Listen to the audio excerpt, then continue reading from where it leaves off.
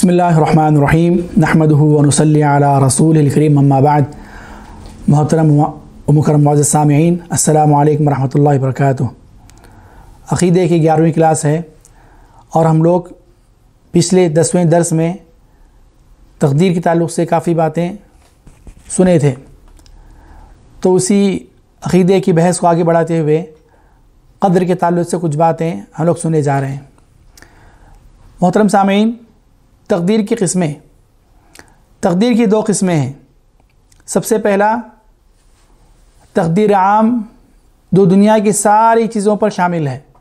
یعنی اللہ رب العالمین نے پوری دنیا کی جو تقدیر بنائی ہے اور دنیا جب سے بنی ہے اور اس وقت تک ختم ہونے تک اور اس کے بعد سارے مراحل کی تقدیر جسے تقدیر عام کہا جاتا ہے۔ اور وہ لوح محفوظ میں لکھی ہوئی ہے۔ اور دوسرا ہے تقدیر خاص۔ یعنی ہر انسان کی مستقل اپنی ایک خاص خاص تقدیر۔ پھر انسان کی جو تقدیر ہے، اس کو تین حصوں میں بانٹا گیا ہے۔ سب سے پہلا، ایک ہے اس کی عمر کی تقدیر، دوسرا ہے اس کی سالانہ تقدیر، اور تیسرا ہے اس کی یومیہ یعنی روزانہ تقدیر۔ اور ابن تیمیہ رحمہ اللہ نے اپنی کتاب عقید واسعہ میں ذکر کیا ہے کہ اللہ رب العالمین نے اسی طرح انسان کی تقدیر کو تین حصوں میں تقسیم کیا ہے۔ آئیے جانتے ہیں انسان کی تقدیر کی جو تین قسمیں ہیں، ان کی تفصیل کیا ہے۔ سب سے پہلا، تقدیر العمری۔ انسان کی پوری عمر کی تقدیر۔ صحیح بخاری مسلم کی روایت میں ہے، ابن مسعود کی روایت ہے کہ رسول اللہ صلی اللہ علیہ وسلم فرمایا کہ ان احدکم یجمع خلقه فی بطن امی اربعین یوما نطفتا ثم يكون علقة مثل ذلك ثم يكون مضغة مثل ذلك. ثم يرسل إليه الملك. فينفخ فيه الروح ويؤمر بأربع كلمات بكتبة رزقه وأجله وعمله وشقي أم سعيد. فوالله الذي لا إله غيره إن أحدكم ليعمل بعمل أهل الجنة حتى ما يكون بينه وبينها إلا ذراع. فيسبق أهل الكتاب فيعمل بعمل أهل النار فيدخلوها. وإن أحدكم ليعمل بعمل أهل النار حتى ما يكون بينه وبينها إلا ذراع فيسبق الكتاب فيعمل بعمل أهل الجنة فيدخلوها رواه البخاري مسلم محترم معزز سامعین، یہ صحیح بخاری مسلم کی روایت ہے۔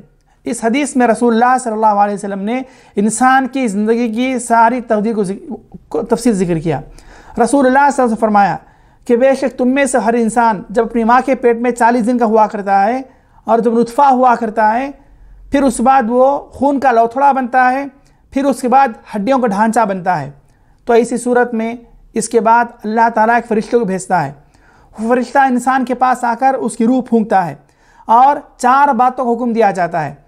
اس کی رس اس کا رزق لکھا جاتا ہے کہ اتنا کمائے گا، کتنا کمائے گا۔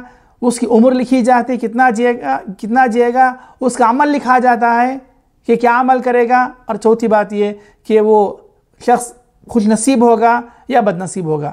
اس کے بعد رسول اللہ صلی اللہ علیہ وسلم فرمایا، قسم ہے اس ذات کی، جس کے جس کے علاقہ کوئی معبود نہیں ہے، تم میں سے ہر شخص زندگی بھر جنتیوں والا کام کرتا رہتا ہے۔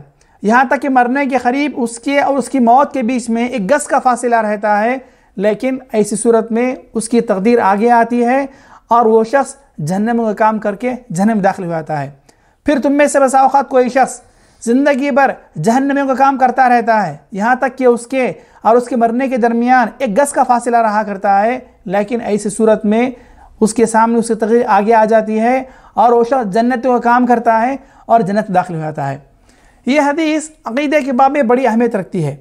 اس حدیث میں رسول اللہ صلی اللہ علیہ وسلم نے انسان کی عمر کے تعلق سے کافی تفصیل سے باتیں بیان فرمائی ہیں۔ اور اس حدیث میں بھی کہا گیا، انسان کی عمر لکھی جاتی ہے، اس کی زندگی کی تقدیر لکھی جاتی ہے۔ تو تقدیر کا سب سے پہلا پہلا مرحلہ انسان کے لیے۔ دوسرا مرحلہ ہے انسان کی سالانہ تقدیر کہ اس کی زندگی کے فلاں فلاں فلاں سال میں کیا کیا کام ہوں گے؟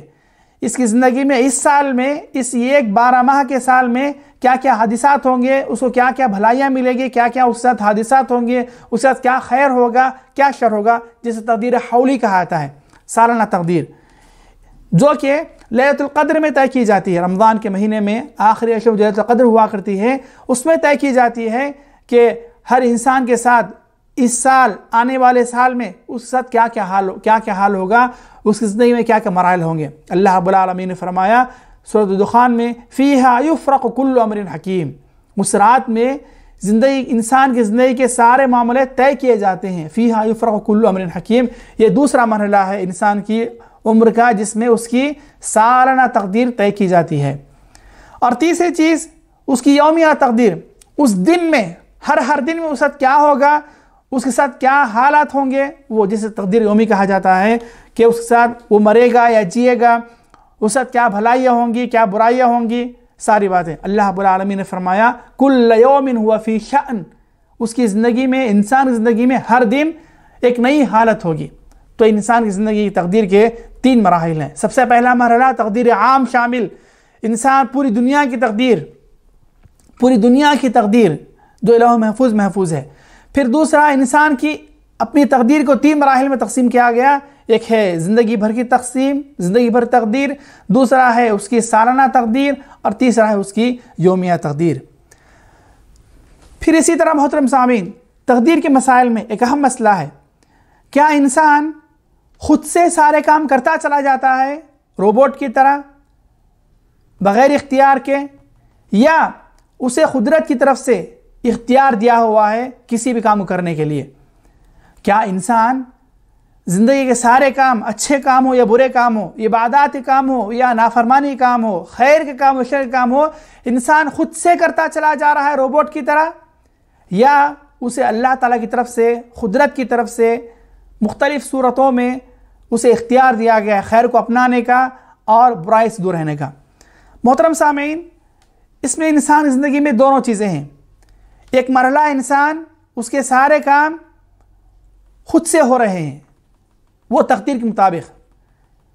اللہ اب العالمین نے انسان کی زندگی میں جو جگہ مقدر کیے ہیں، وہ انسان کے اختیار سے ہٹ کر سارے کام جو کہ تو ہوتے جا رہے ہیں۔ اس کی عمر، اس کے زندگی میں خیر، اسی طرح اس ساتھ مختلف حالات، اس ساتھ مختلف فائدے کی چیزیں، اس ساتھ مختلف، اس ساتھ نقصانات وغیرہ وغیرہ۔ انسان کی زندگی میں اس کی تقدیر میں جو جو لکھا ہوا ہے وہ انسان کے اختیار کے بغیر جو کا تو ہوتا چلا جا رہا ہے۔ اس میں انسان کا کچھ بھی اختیار نہیں ہے۔ ہر چیز تقدیر کے عین مطابق، قدر کے عین مطابق ہوتی جا رہی۔ جیسا کہ اللہ العالمین نے فرمایا، انا کل شین خلقنا بقدر. تو اس اعتبار سے انسان، ایک ناحیے سے ایک اعتبار سے انسان خود سے اس کی زندگی سارے کام ہوتے چلے جا رہے ہیں۔ اسی طرح اس کے ساتھ ساتھ انسان، اسے اختیار بھی دیا گیا ہے۔ اسے اللہ العالمین نے اختیار بھی دیا ہے کہ اللہ العالمین اسے اختیار دیا ہے۔ کہ وہ خیر کو اپنا ہے شر سے دور رہے، فائدے کو حاصل کرے، نقصان سے دور رہے، عبادات کو کرے، نافرمانی سے دور رہے۔ تو انسان یہ سارے کام اپنے اختیار سے کرتا ہے، اپنی چاہت سے کرتا ہے اور اپنے اختیار سے کرتا ہے۔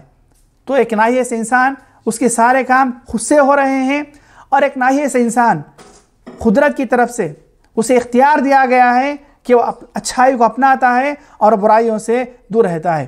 تو محترم سامین بندے کو اللہ کی طرف سے مشیت بھی دی گئی ہے اور اختیار بھی دیا گیا ہے۔ لیکن بندے کا اختیار، بندے کی یہ چاہت، بندے کا یہ چاہنا، بندے کا یہ اختیار، اس کی مشیت یہ اللہ تعالیٰ کے تابع ہوا کرتی ہے۔ اللہ تعالیٰ کی مشیت یہ تابع ہوا کرتی ہے۔ اسی لیے بندوں کو ان کے نیک کاموں پر ثواب بھی دیا جاتا ہے، ان کے برے کاموں پر انہیں گناہ بھی دیا جاتا ہے۔ اور یاد رکھے انسان کے سارے کام، بھلے برے ہوں یا اچھے ہوں یا برے ہوں، وہ سارے کے سارے اللہ تعالیٰ کے لیے لکھی ہوئی تقدیر اور مشیت کے مطابق ہوا کرتے ہیں۔ قرآن کریم بہت سے مخاوت اللہ رب العالمین نے فرمایا، وما تشاؤون الا یشاء اللہ تم جو کچھ چاہتے ہو، وہ نہیں ہوتا ہے، بلکہ ہوتا وہی ہے جو اللہ اللہ تعالیٰ چاہتا ہے۔ اس آیت میں اللہ رب العالمین نے ساری مشیت کو اپنے آپ کے لیے ثابت کیا۔ وہیں پر اللہ رب العالمین دوسری آیت میں بندوں کے لیے مشیت اور اختیار کو بھی ثابت کیا۔ جیسے اللہ رب العالمین نے فرمایا، فمن شاہ فلیؤمن ومن شاہ فلیکفر تم میں سے جو شخص چاہے مومن ہو جائے اور جو شخص چاہے وہ کافر ہو جائے۔ اس آیت میں اللہ رب العالمین نے بندے کے لیے بھی مشیت، اختیار یعنی ارادے کو، اس کے چاہنے کو، اس کی مشیت کو ثابت کیا۔ اور اپنے لیے بھی، اللہ نے اپنے لیے بھی مشیت ارادے کو ثابت کیا۔ لیکن بندے کا جو اختیار ہوگا، بندے کی جو مشیت ہوگی، بندے کا جو چاہنا ہوگا، وہ اللہ تعالیٰ کی مشیت اور اللہ تعالیٰ کے ارادے کے تابع ہی ہوا کرتا ہے۔ دوسری بات، محترم سامین سورت القح پہ جو اللہ العالمین نے بیان فرمایا کہ فمن شاہ فلیؤمن ومن شاہ فلیکفر تم میں سے جو شخص چاہے وہ مومن ہو جائے، جو شخص چاہے کافر ہو جائے۔ کیا اس میں اللہ نے اختیار دیا مومن بندے کو کافر ہونے کا؟ کیا اس آیت میں اللہ نے اختیار دیا ہے انسان کو کافر ہونے کا؟ کیا انسان اپنے اختیار سے کافر ہو سکتا ہے؟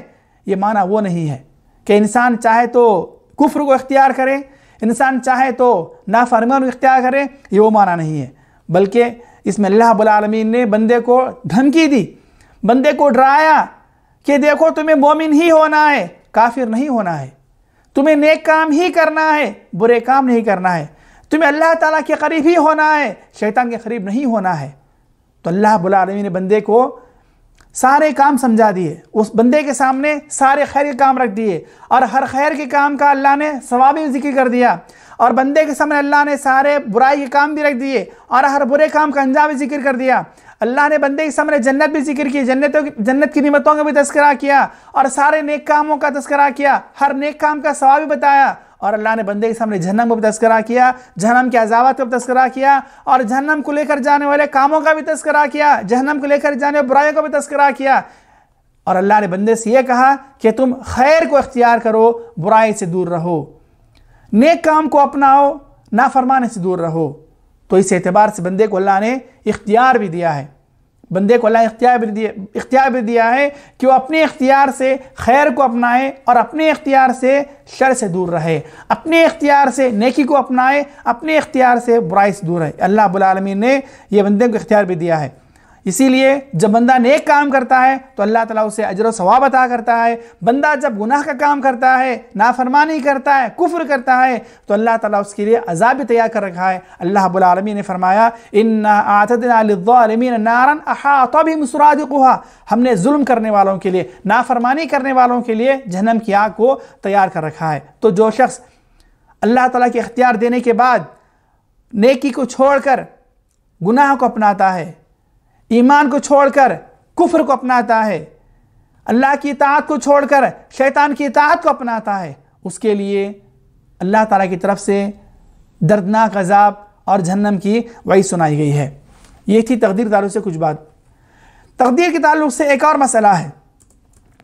کیا انسان گناہ کرنے کے بعد وہ تقدیر سے دلیل پکڑ سکتا ہے کہ میری تقدیر میں یہ گناہ لکھا ہوا تھا، اس لیے میں نے گناہ کیا ہے؟ کیا اس طرح کا اس طرح کی دلیل پکڑنا، کیا اس طرح کی بات کرنا، کیا اس طرح سے تقدیر پر الزام لگانا درست ہے؟ یعنی انسان کچھ گناہ کا کام کرے اور وہ یہ کہنے لگے، دنیا میں بھی لوگوں کے سامنے، یا آخرت میں بھی یہ کہنے لگے کہ چونکہ میری تقدیر میں گناہ لکھا ہوا تھا، اس لیے میں نے گناہ کیا ہے۔ چونکہ میرے مقدر میں تھا، اس لیے میں نے نافرمانی کی ہے۔ کیا انسان اس طرح تقدیر پر الزام لگا کر اللہ تعالیٰ کے بچ سکتا ہے؟ کیا انسان اس طرح گناہ کر کے تقدیر سے دلیل پکڑ سکتا ہے؟ نہیں محترم سامین نہیں کر سکتا۔ انسان زندگی کے بعض، زندگی کے بعض چیزوں میں تقدیر سے دلیل پکڑ سکتا ہے اور بعض چیزوں میں تقدیر سے دلیل نہیں پکڑ سکتا ہے۔ انسان زندگی جو مصیبتیں آتی ہیں، جو آفتیں پریشانیاں آتی ہیں، اس پر جو بلائیں آتی ہیں، اس پر انسان تقدیر سے دلیل پکڑ سکتا ہے۔ مثلاً اس کا اپنا کوئی وفات پا جائے، یا اسے کچھ بیماری لائق ہو جائے، یا کچھ حادثہ ہو جائے، یا کچھ نقصان ہو جائے، تو یہ کہہ سکتا ہے کہ میری تقدیر میں لکھا ہوا تھا، قدر اللہ ما شاء فعل، اللہ نے جیسا مقدر کیا تھا، اللہ نے جیسا میرے حق میں چاہا تھا، ویسے ہوا۔ تو زندگی میں مسائب پر، مشکلات پر، پریشانیوں پر پریشانیوں پر، آفت و بلا پر تقدیر سے دل پکڑنا یہ ثابت ہے۔ لیکن گناہ کر کے تقدیر سے دلیل پکڑنا کہ میں نے فلاں گناہ اس لیے کیا ہے کہ میرے مقدر میں لکھا ہوا تھا، میں نے فلاں نافرمانی اس لیے کی ہے کہ میرے مقدر میں لکھا ہوا تھا۔ اس طرح گناہ پر دلیل پکڑنا یہ ناجائز ہے۔ محترم سامعین، اللہ رب العالمین نے انبیاء کرام کو بھیجا۔ اللہ رب العالمین نے انسان کو فطرت سلیمہ پر پیدا کیا۔ اللہ رب العالمین انسان کو عقل و ہوش دیا، شعور دیا۔ اللہ بلا انسان کے سامنے شریعت نازل فرمائے جس میں ساری باتیں تفصیل سے بیان کی گئی ہیں کہ حلال کیا ہے حرام کیا ہے جائز کیا ہے ناجائز کیا ہے اطاعت و فرما برداری یہ کام کیا ہے نافرمانی یہ کام کیا ہے اللہ کی قربت کا کام کیا ہے شیطان سے قریب کرنے کا کام کیا ہے جنت کو لے جانے والے کام کیا ہے جہنم کو لے جانے والے کام کیا ہے اللہ اب العالمین نے انبیاء کرام کے ذریعے سے شریعت کے ذریعے سے انسان کے عقل کے ذریعے سے فطرت سلیمہ کے ذریعے سے ساری باتیں انسان کے سامنے رکھ دی ہیں اللہ العالمین نے فرمایا وہ نجدین اور بندے کو یہ حکم دیا کہ تم خیر کو اپناؤ، گناہ سے دور رہو۔ تم نیکی کے کام کو اپناؤ، برائی کام سے دور رہو۔ تو اللہ رب العالمین نے انسان کو ساری باتیں سمجھا دی۔ اور انسان کو اللہ نے عقل بھی دی، ہوش دیا، شعور دیا، احساس دیا۔ انبیاء اکرام کے ذریعے سے ڈرایا، کتابوں کے ذریعے سے ڈرایا، شریعت کی ذریعے ساری باتیں بتا دی۔ پھر یہ کہا آخر میں کہ تم شیطان سے دور رہو، اللہ سے قریب رہو۔ جنت کو لے جانے والے کام کرو، جہنم کو لے جانے کام سے دور رہو۔ اطاعت و فرما برداری کام کرو، گناہ کے کام سے دور رہو۔ اطاعت و فرما برداری کے فلاں فلاں کام پر تمہارے فلاں فلاں عجر و ثواب ہے اور گناہ کے فلاں فلاں کام پر تمہیں فلاں فلاں گناہ ہے۔ جنت کی فلاں نعمت، فلاں نیک کام کے بدلے میں ملے گی اور جہنم کا فلاں عذاب، فلاں برائی کے کام کے بدلے میں ملے گا۔ تو اللہ العالمین نے انسان کو فطرت کے ساتھ، عقل کے ساتھ، ہوش و شعور کے ساتھ، سمجھداری کے ساتھ انبیاء کرام کے ذریعے سے، کتابوں کے ذریعے سے، آسمانی کتاب کے ذریعے سے، قرآن کے ذریعے سے اور دعات کے ذریعے سے اللہ نے ساری باتیں اسے سمجھا دی ہیں۔ تو لہذا اگر کوئی انسان ان ساری چیزوں کے ہوتے ہوئے گناہ کر کے، حرام کا ارتکاب کر کے، گناہ کے کام کا ارتکاب کر کے اگر وہ تقدیر سے دلیل پکڑتا ہے تو یہ بہت بڑا گناہ ہے۔ یہ اس کے حق میں جائز نہیں ہے۔ محترم سامعین اللہ اب العالمین نے انبیاء کرام کو جو بھیجا، وہ اسی لیے بھیجا کہ دنیا والوں کو سمجھائیں۔ اللہ اب العالمین نے فرمایا، رسلا مبشرین و مندرین علی اللہ کون للناس اللہ حجت بعد الرسل۔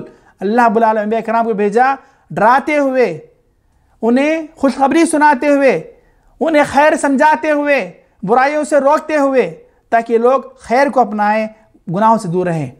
اور سارے انبیاء کرام نے اپنی اپنی امتیوں کو، اپنی اپنی امتوں کو ہر خیر کی طرف رہنمائی کی اور ہر شر سے ڈرایا۔ پھر اسی طرح اللہ بلا آسمانی جو کتابیں اتاری ہیں، اس کے ذریعے اللہ العالمین لوگوں کو خیر کا راستہ بتایا اور شر سے اللہ اللہ العالمین ڈرایا ہے۔ پھر اسی طرح محترم سامع نبی کریم صلی اللہ علیہ وسلم نے مختلف حادث ربویہ میں ہمیں خیر کے کاموں کو اپنانے کا حکم دیا اور برائی سے دورنے کا حکم دیا۔ اور قرآن کی ساری آیتیں اور قرآن قریب لا تعداد آیت میں اللہ العالمین نے ہمیں۔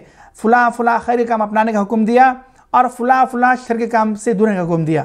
اور یاد رکھیں، دنیا میں جو بھی خیر پایا جاتا ہے، اس کے کرنے کا ہمیں حکم دیا گیا اور اسے کرنے پر ہمیں ثواب بھی، ثواب کا بھی تذکرہ کیا گیا اور اسے کرنے پر ہمیں مختلف جنت کی نعمتوں کا بھی تذکرہ کیا گیا۔ اور دنیا میں جتنے بھی گناہ کے کام ہیں، جتنے برے کام ہیں، اسلام نے ہمیں اسے ڈرایا اسے دور رہنے کا حکم دیا اور اسے کرنے پر جہنم کے فلاں فلاں عذاب کی وعید بھی سنائی ہے۔ تو یہ ساری باتیں ہمیں بتاتی ہیں کہ انسان گناہ نہ کرے۔ اور انسان گناہ کرنے کے بعد اگر وہ بتا تقاضۂ بشریت انسان ہونے کے ناطے گناہ کرتا ہے تو فوراً گناہ سے رجوع ہو جائے، توبہ کر لے۔ لیکن اگر کوئی انسان گناہ کرے اور گناہ کرنے کے بعد تقدیر پر الزام لگائے اور تقدیر سے دلیل پکڑے کہ تقدیر پہ لکھے جانے کی وجہ سے کام ہوا ہے، تو محترم سامین یہ بہت بڑی غلطی ہوگی، یہ بہت بڑی بھول ہوگی۔ تو محترم سامین تو کسی بھی انسان کے لیے جائز نہیں ہے کہ وہ برائی کے کام کرنے کے بعد معاشیت کے کام کرنے کے بعد وہ اپنی تقدیر سے دلیل پکڑے۔ اور ہمیں حکم دیا گیا کہ ہر خیر کے کام کو اپنائیں اور ہر برے کام سے دور رہیں۔ اور اللہ رب العالمین نے خیر کے کام کو بھی پیدا کیا، شر کے کام کو پیدا کیا۔ لیکن اللہ نے ہم سے خیر کا مطالبہ کیا اور شر سے دور رہنے کا مطالبہ کیا۔ یاد رکھے خیر بھی، شر بھی دونوں اللہ کی مخلوق ہیں۔ اللہ نے خیر کو بھی پیدا کیا اور اللہ نے شر کو بھی پیدا کیا۔ لیکن اللہ نے خیر کو پیدا کیا، لیکن خیر کو چاہا نہیں۔ خیر کا اللہ نے خیر کو پیدا کیا، لیکن خیر کو چاہا اور خیر کا مطالبہ کیا، خیر یہ کرنے کا حکم دیا۔ اور اللہ نے شر کو بھی پیدا کیا، لیکن اللہ نے شر کو چاہا نہیں۔ شر کا مطالبہ نہیں کیا، بلکہ ہم سے یہ مطالبہ کیا، شر سے دور رہیں۔ تو محترم سامعین عقید ایک تعلق سے کچھ کچھ باتیں تھیں۔ اللہ تعالیٰ سے دعا ہے۔ اللہ تعالیٰ تمام مسلمانوں کو تقدیر پر ایمان رکھنے، تقدیر پر صحیح صحیح مکمل ایمان رکھنے اور اس کے مطابق اپنی زندگی گزارنے توفیق عطا فرمائے۔ اور سارے خیر کے کام آگے بڑھنے کے اللہ میں توفیق عطا فرمائے۔ وصلی اللہ علیہ نبینا محمد وعلی آلہ وصحبہ اجمعین۔ والسلام علیکم ورحمۃ اللہ وبرکاتہ۔